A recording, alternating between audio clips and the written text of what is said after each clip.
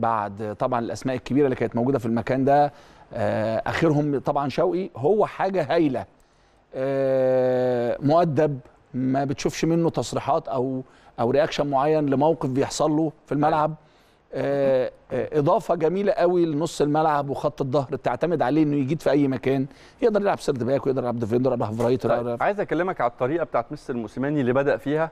هو فاجئ جمهور النادي الأهلي فيها من بداية الدوري واستمر عليها في الثلاث ماتشات. خليني أكلمك هل الطريقة الأنسب ان إحنا نكمل بيها وهل وصلنا للتوليفة المثالية وهل شفت انه درجة الانسجام وصلت لأعلى معدلاتها في مباراة الزمالك؟ بس خلينا نسمع إجابتك وردك على السؤال بعد الفاصل.